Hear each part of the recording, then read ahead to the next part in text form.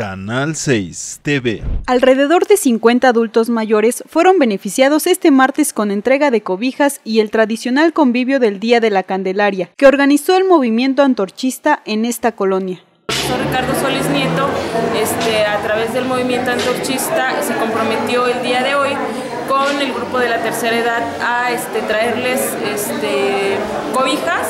y pues para festejar el 2 de febrero. Con la finalidad de beneficiar al sector más vulnerable de la población de Citlalmina, representantes del movimiento antorchista comentan que es prioridad para la asociación cuidar a los adultos mayores, por lo que desde el pasado mes de enero se comprometieron a entregar cobijas, pues las bajas temperaturas afectan directamente a esta zona alta de Ixtapaluca. Adultos mayores aprovecharon la presencia de los representantes de la colonia para expresar sus necesidades, tales como instructores de baile, apertura de nuevos talleres, cortinas, pues en ocasiones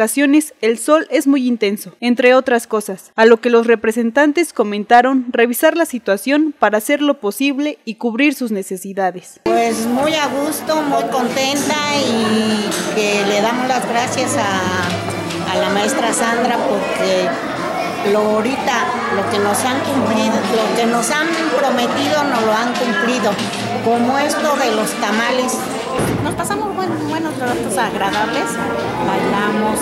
cantamos, luego gritamos, cosemos, unas